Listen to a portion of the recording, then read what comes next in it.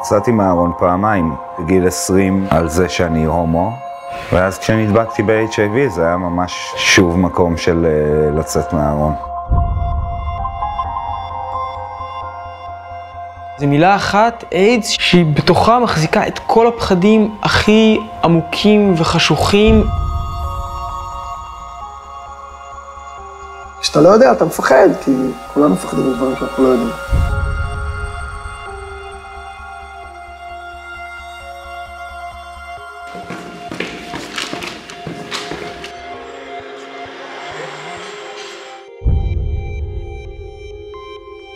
אני רוצה להתחיל איתכם עם אה, סוג של ניסוי מעניין שמתחיל היום. אה, בדיזינגוף סנטר נפתחה חנות שכל המוצרים שנמכרים שם, החל מביגוד וכלה בתכשיטים, כולם אה, מוצרים מיד שנייה שהיו שייכים לנשאי HIV. עכשיו נשאלת השאלה, כמה אנשים יהיו מוכנים לבוא לחנות הזאת ולרכוש מוצרים שהם יודעים שהיו שייכים לנשאי HIV? אני אתרום גם צלחות כי uh, מסתבר שיש אנשים שחושבים שזה עדיין בעיה לאכול מכלים של uh, אנשים שחיים עם HIV.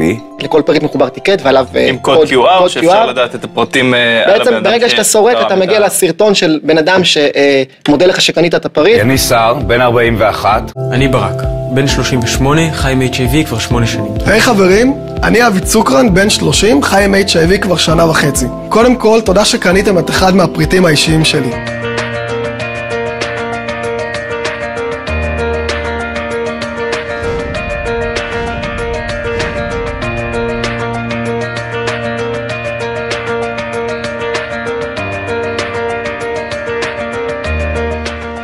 מעשה חשוב וטוב. הלוואי ויצליחו. למכור מוצרים של נשאי. מה אצלנו בתודעה. פותחים חנות?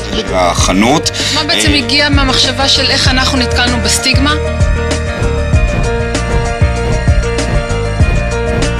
תגידו, הייתם לובשים בגד שלבש נשא איידס? זהו מפעל ממש ממש ממש יפה. מתי נפתחת החנות?